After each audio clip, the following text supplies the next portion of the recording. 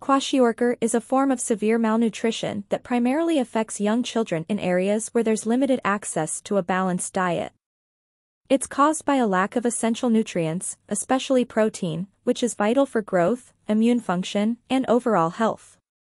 Kwashiorkor often results from a combination of factors. Insufficient protein intake, diets lacking in high-quality protein sources like meat, dairy, and legumes can lead to a deficiency. Lack of overall nutrition, inadequate intake of other vital nutrients like vitamins and minerals can worsen the condition. Poverty and food insecurity, communities with limited access to nutritious foods are at higher risk. Early weaning, abruptly transitioning infants from breast milk to an inadequate diet can contribute.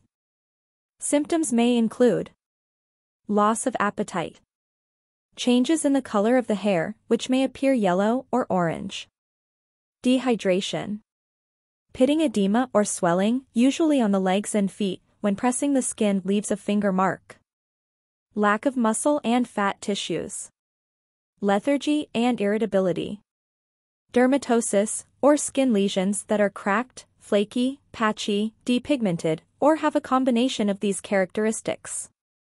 Frequent skin infections or slow healing wounds.